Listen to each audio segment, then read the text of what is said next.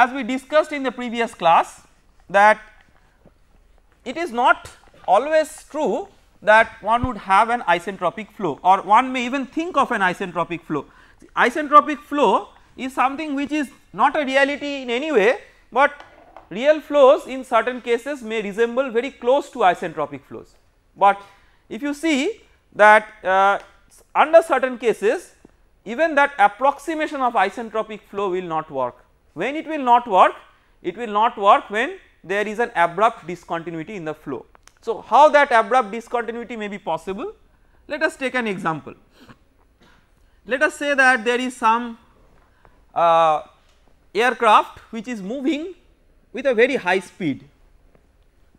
So, when it is moving with a very high speed it is uh, say moving with a supersonic speed and therefore, all the disturbances are confined within the Mach cone. So, outside the Mach cone the disturbance is not felt. So, let us say that you have sort of this as an as a bounding envelope within which the disturbance is there. Now, if you consider the streamlines which are there in the upstream they are not still feeling the presence of this disturbance because the disturbance cannot propagate to all points. Now suddenly when these come and encounter this point of or this location of discontinuity then they will feel the presence of the disturbance and therefore there will be an abrupt change in properties. So such abrupt change in properties will be possible here with a condition that on one side it is supersonic flow and on another side what will happen we will see we, we are not predicting that it is either subsonic or supersonic or whatever, but one important thing we can predict that there may be a sharp discontinuity so that on one side it is sort of the disturbance is felt because of the supersonic nature of the flow on another side the disturbance is not felt so to say. And that is an extreme example, but you may also have such discontinuities not that on one side disturbance is totally felt on another side the disturbance is not at all felt, but there is a sharp discontinuity across that which means that there will be an abrupt change in Mach number across that. The question will be that uh, what is the length or what is the thickness over which this discontinuity occurs it is typically a few molecular mean free paths. So roughly like uh, of the order of 0.1 micron like that. So, it is uh, for all macroscopic calculations it is as if like a sharp front over which this uh, discontinuity in the flow properties is going to be there. We will see that mathematically we might initially have possibilities of several types of discontinuities, but from the second law of thermodynamics we will try to predict that some of these discontinuities are feasible and some of these discontinuities are not feasible. But we have to first appreciate that there is a possibility of such discontinuity in a flow. Typically in a supersonic flow we may visualize that why such a discontinuity might occur. The second thing is that when the discontinuity is occurring what is the front over which the discontinuity is occurring. The front over which the discontinuity is occurring this, this type of discontinuity is known as a shock. So when you have the front over the discontinuity that is occurring that front may not be oriented in a direction normal to the direction of the flow, but there are special cases when the front of the discontinuity is oriented in a direction perpendicular to the direction of the flow and in such a case it is known as a normal shock. If the front of the shock is oriented at an oblique angle with respect to the direction of the flow then that is known as an oblique shock. So, in the purview of this course we have only normal shock. So, we will be discussing only the special type of shock where the shock front is perpendicular to the direction of the flow. So, let us take up that case known as normal shock. So, when you have a normal shock let us say that this is the shock front. So, what we are having we are having a discontinuity in properties across the shock front. So, let us say on one side the pressure is P1 the temperature is T1 maybe the velocity is u1 the Mach number is m1 another side P2 T2 u2 m2 even you may write the density rho 1 rho 2 like that. So, there is a change in property.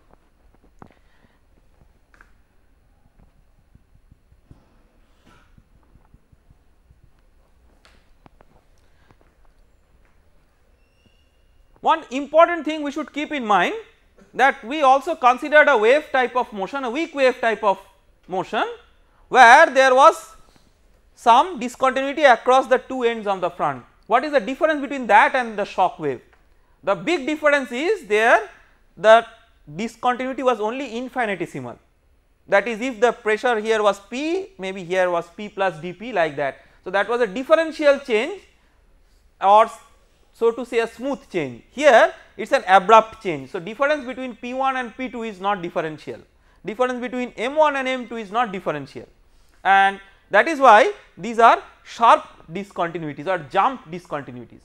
So, when you have such jump discontinuities occurring then these discontinuities occurring at a very rapid rate. So, there is a ra rapid change in the flow properties and when there is such a rapid change it is the change is taking place over a very thin region so that we may consider it to be adiabatic because there is insufficient time to have uh, opportunity of heat transfer during the process, but because the process is very fast it is no more reversible process. Therefore, it may be approximated as an irreversible and adiabatic process. So, if you have it as an irreversible process you cannot apply isentropic flow conditions to relate M1, M2, U1, U2, T1, T2, P1, P2 like that and that is why we have to make a separate analysis for the shock. So, this is the motivation of having a separate analysis for the shock despite having the well known property relationships for the isentropic flows. Now, uh, let us say that we want to apply our basic equations. So, the basic equations are still valid. So, you have for, for example, the continuity equation remember these are one dimensional flows. So, if A is the area of the shock front then you have rho 1 a 1 u 1 is equal to rho 2 a 2 u 2 a 1 and a 2 are the same. And you may relate rho 1 with p 1 and t 1 it is important to eliminate one of the variables out of p t and rho by using the equation of state. So, you can write this as p 1 by r t 1 u1 is equal to P2 by RT2 u2. So, this one we will keep in mind. Of course, u2 by u1 you may express in terms of the Mach number and the temperature. So, uh, you can also write u2 by u1 as m2 by m1 square root of T2 by T1 because u is m into c, c is square root of gamma RT. See we are writing this with an understanding that in the upstream of the shock and in the downstream of the shock separately we are using isentropic considerations that we have to keep in mind, but in between the upstream and the downstream the flow is not isentropic. So, this is what we get from the continuity equation then maybe momentum equation. Momentum equation. So, the resultant force that acts on the control volume P1 minus P2 into A is equal to m dot into u2 minus u1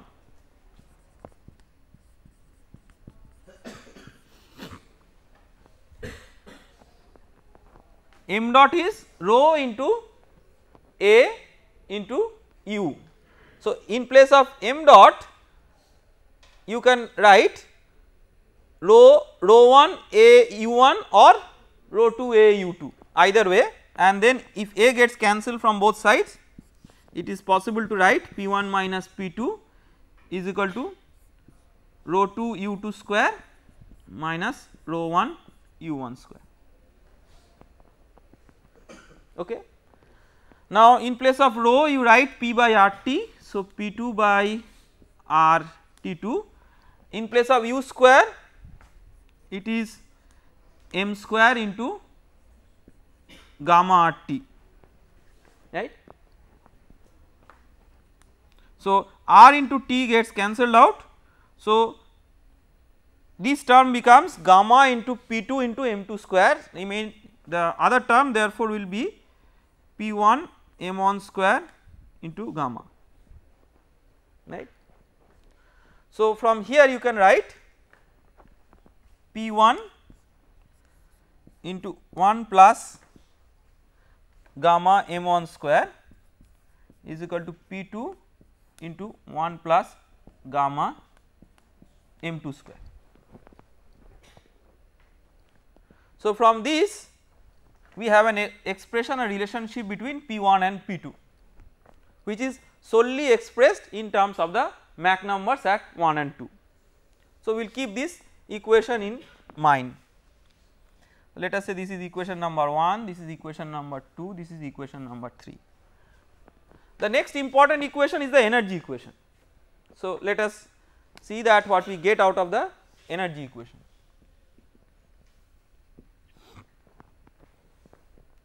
Energy equation will give what? T1 plus Cp into T1 plus U1 square by 2 is equal to Cp into T2 plus U2 square by 2. Remember this is adiabatic and that is good enough this is first law of thermodynamics we do not require any reversible or irreversible condition here.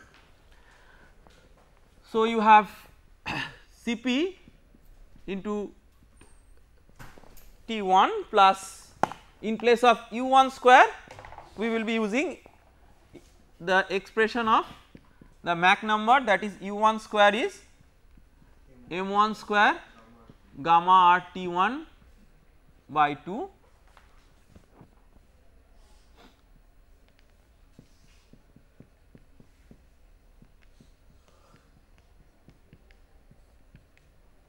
okay.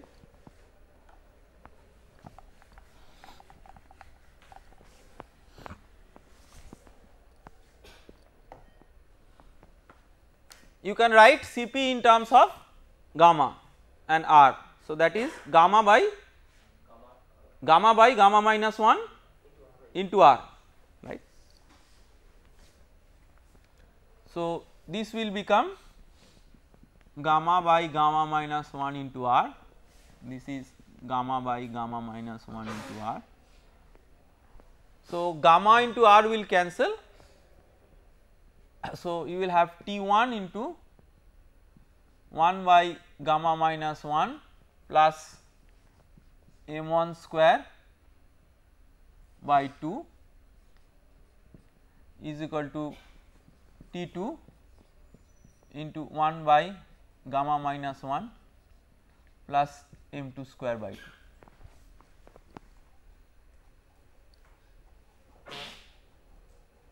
Okay.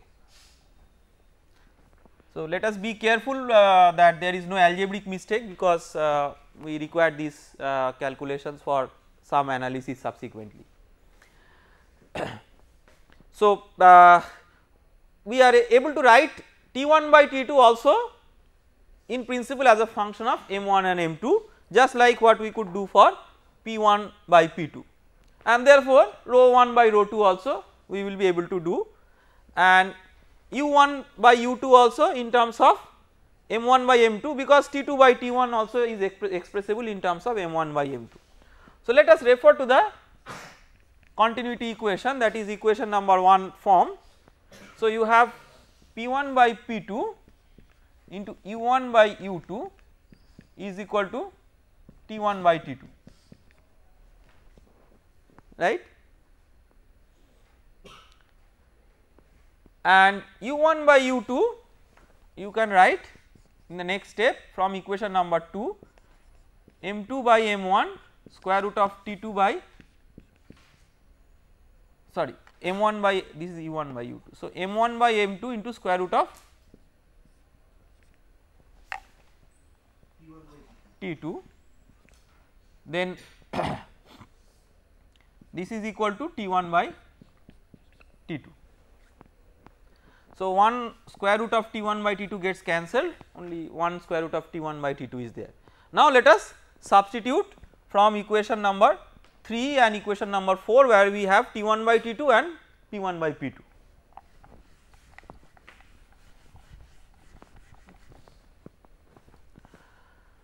So, P1 by P2 is 1 plus gamma m2 square by 1 plus gamma m1 square that into m1 by m2 is equal to square root of T1 by T2. So, 1 by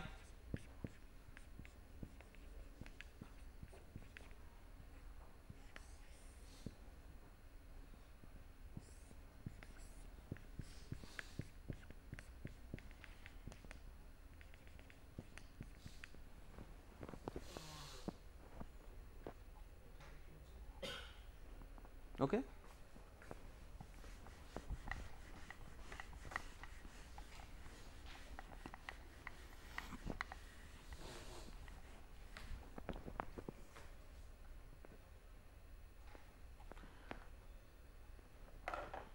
Now, we have got an explicit relationship between M1 and M2. So, uh, to find out that what could be the possible relationship at the end First of all uh, we may square these expressions. So, if we square this expression, so this is the square into m1 square by m2 square and the square roots will go away.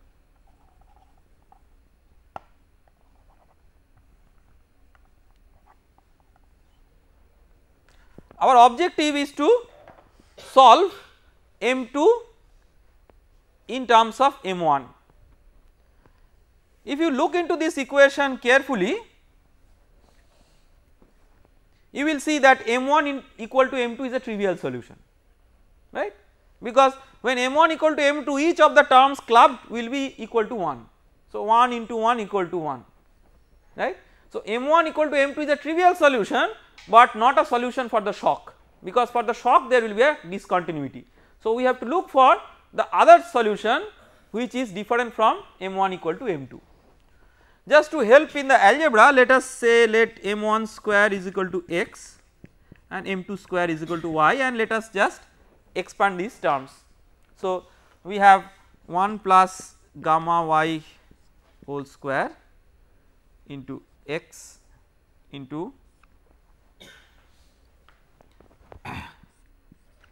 1 by gamma minus 1 or let us write 2 by gamma minus 1 plus x is equal to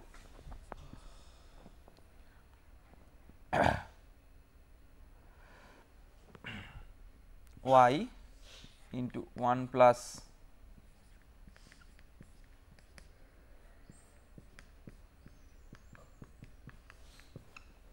okay. so, this term square into m1 square is x into this term which is there in the denominator. So, we have multiplied by 2 just for simplicity. So, 2 by gamma minus 1 plus x. Okay. So, just check whether this is correct or not because we will proceed again from this one.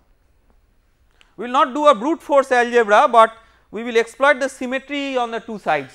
Uh, so, first of all uh, we will calculate the left hand side and we will write the right hand side just by exploiting the symmetry. See right hand side is the replacement of the left hand side with x replaced by y and y replaced by x okay.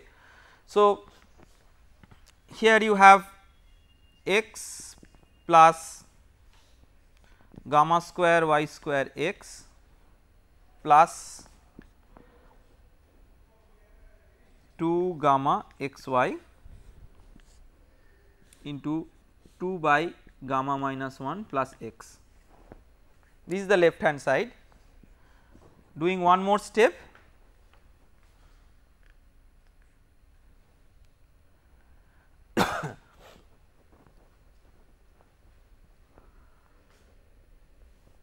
What you get? X square. Okay first x 2 by gamma minus 1 x plus 2 gamma square by gamma minus 1 y square x plus 4 gamma by gamma minus 1 x y. These are the first three terms and the next terms are just multipliers of x. So, x square plus gamma square x square y square plus 2 gamma x square y.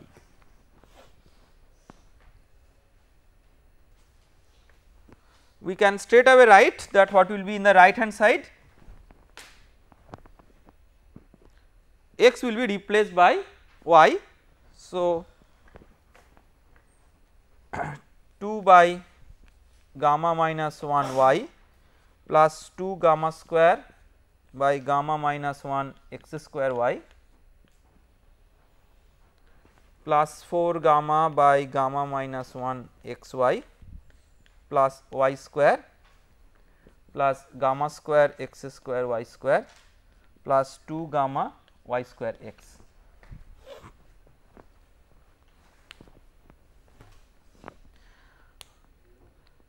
So, out of the total 6 terms that you get there are 2 terms which are symmetrical and same in the two sides and therefore they get cancelled. So, one is the term with x y another is the term with x square y square and then you will automatically get x minus y as a common thing because x equal to y is a trivial solution that we have seen. So, if you take x minus y as common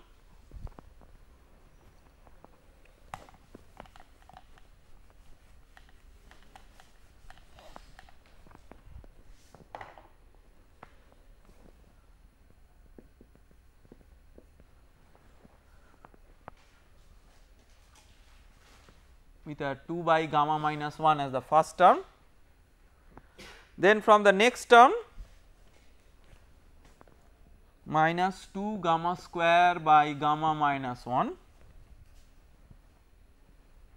x y into x minus y plus x square minus y square plus 2 gamma x y into x minus y equal to 0.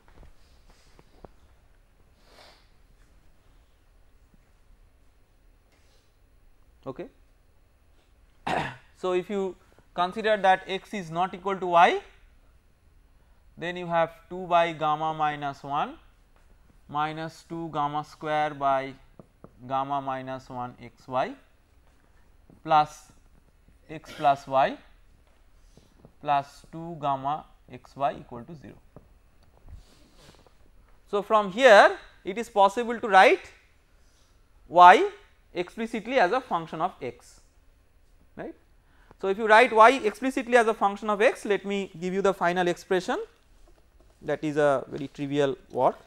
So, y will be equal to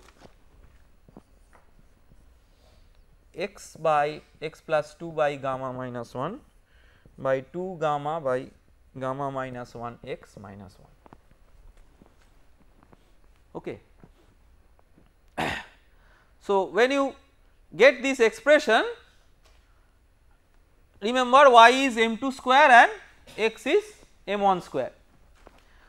The special case that is of interest to us is the case of air. So, air is gamma equal to 1.4 example. So, for air let us write what is m2 square by m1 square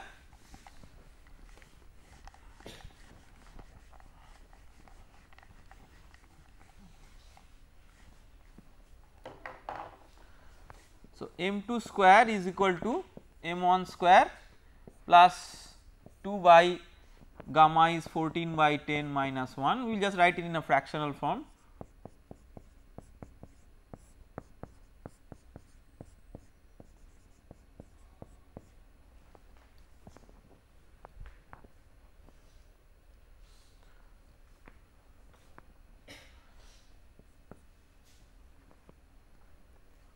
So, what will be m2 square in terms of m1 square?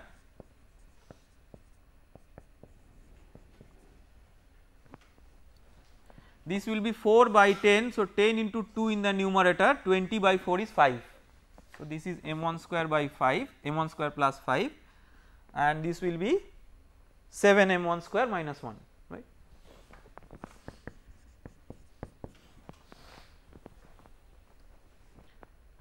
Now, let us try to make a plot of m2 as a function of m1 from this variation.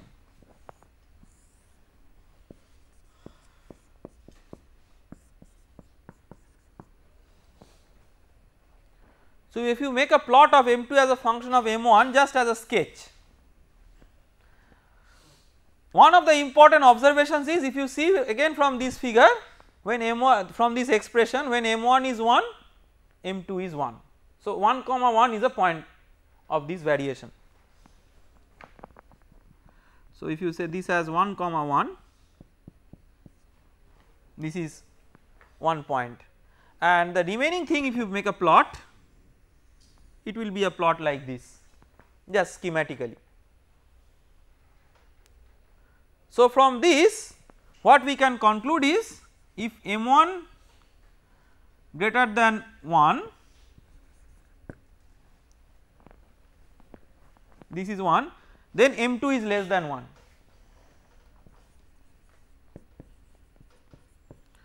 and if m2 is if m1 is less than 1 then m2 is greater than 1. Till now whatever exercise we have done this allows us with these two possibilities, but we will see soon that both of these possibilities are not out of these two one is not physically permissible because we have to consider the directionality of the process. We have one process where the Mach number is going from greater than 1 to less than 1, another case going from less than 1 to greater than 1. So, these two are two different directionalities of the process. Out of these one of the directionalities will be possible, another directionality of the process will not be possible. So, what is the direction in which the process will move or is permissible to move will be dictated by the second law of thermodynamics. So, we will now consider that what is the corresponding change in entropy during this process. So, remember that when you have a change in entropy you have a change in entropy of the system plus change in entropy of the surroundings. So, here there is no heat transfer. So, there is no change in entropy associated with the heat transfer with the surroundings. So, you have change in entropy with the system that is just S2 minus S1. So, just uh, uh, to have elementary considerations on the change in entropy. The first law of thermodynamics in terms of a heat transfer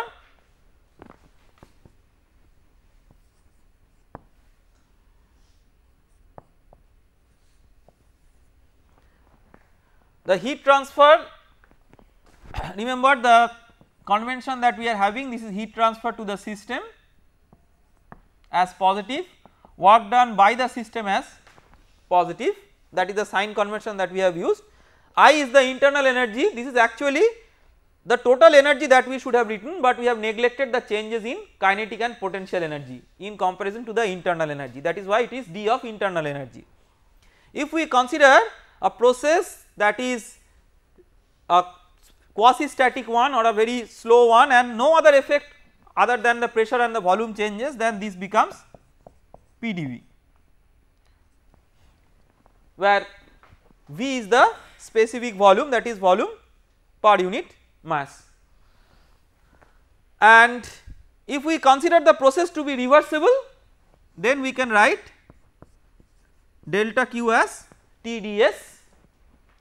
Once we have written this it is TdS equal to dI plus PdV that is valid for any process so long as we integrate this equation along a reversible path and calculate the change in property by following that path, but once the property change is calculated it becomes independent of the path because these are exact differentials or path independent uh, expressions. So, uh, you may express I in terms of or express enthalpy in terms of internal energy I plus PV. So, if you combine that what will follow is TdS equal to dH minus VdP where V is the specific volume which is nothing but 1 by density. So, here in fluid mechanics we usually refer to the density instead of the specific volume. So, we will write 1 by rho.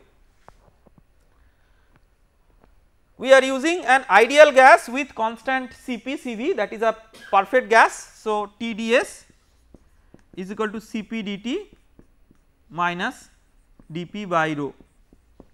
So, ds equal to Cp dt by T minus so when you divide it by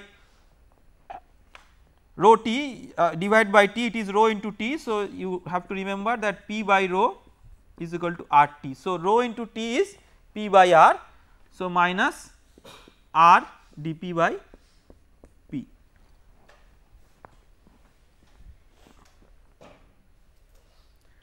Okay.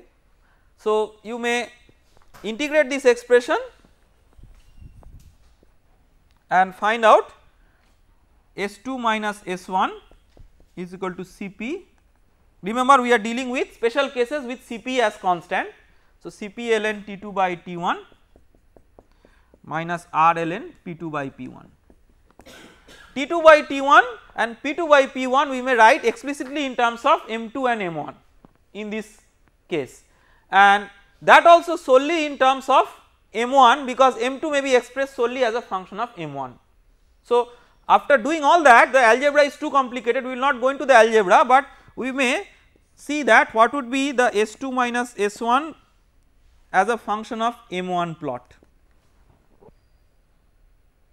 In principle we understand that it is very very much possible to get an expression S2 minus X, S1 solely as a function of m1.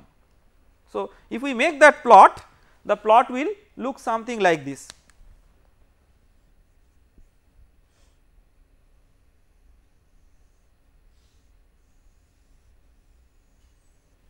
It will be a plot like this.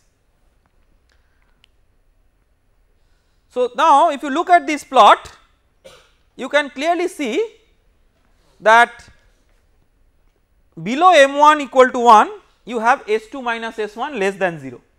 So, this is giving rise to a total change in entropy as negative. Remember the total change in entropy is S2 minus S1 plus delta S of the surroundings which is 0 because it is an adiabatic flow. So, here S2 minus S1 is as good as S net delta S net.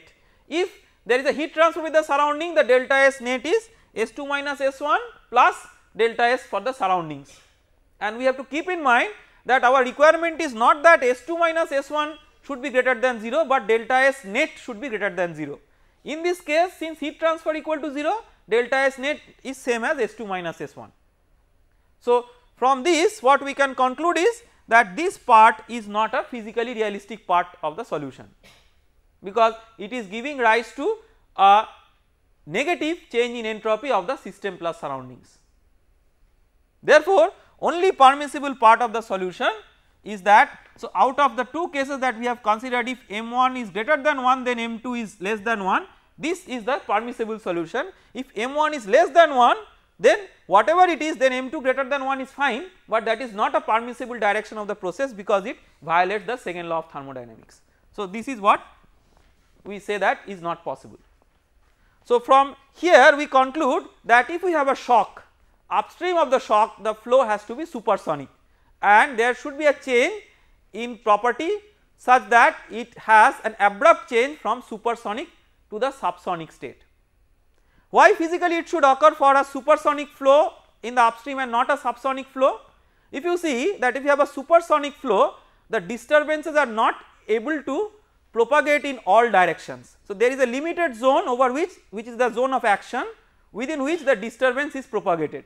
Therefore there is an accumulation of the disturbances because the disturbances are not able to propagate in all directions at uh, a rapid rate.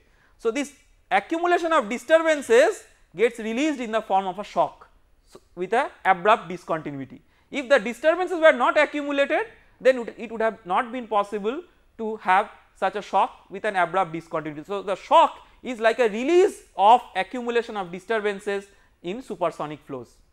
So, with this understanding we now have an idea that when you have a shock you have the change in properties abrupt change in properties and if you look into the tables of the textbooks that you have you will find that there are tables corresponding to the shock waves and uh, there are different types of tables depending on whether you are dealing with a normal shock or an oblique shock. So, here we are dealing with a normal shock. So, for a normal shock you will see that the tables will have the following data the tables will have M1, M2 then uh, P2 by P1, T2 by T1, P02 by P01 like this you will have. So, M1, M2, P2 by P1, T2 by T1 all these fundamentally may be calculated from uh, uh, these considerations and also maybe A2 star by A1 star. All these may be fundamentally calculated from the expressions that we get. So, when you calculate this one important thing you have to keep in mind is that uh, it is possible to express all those in terms of M2 and M2 in, turn in, in terms of M1. There is a change in stagnation property across the shock. So, P0 is the stagnation pressure which would have remained the same in an isentropic flow but if it is not isentropic there will be a change in P0. So, there is a ratio P0 by P02 by P01 which is not equal to 1. So, across the shock there is a change in stagnation properties because the shock across the shock the flow is not isentropic there is an abrupt discontinuity and because of that you have difference in A star also. So, A star changes across the shock because A star is an equivalent A at which sonic condition is achieved by following an isentropic process. Across the shock it is not isentropic. So, it is a in the downstream of the shock it is a different isentropic condition and that is why you have difference in A star. So, let us stop here with this lecture we will continue again in the next lecture thank you.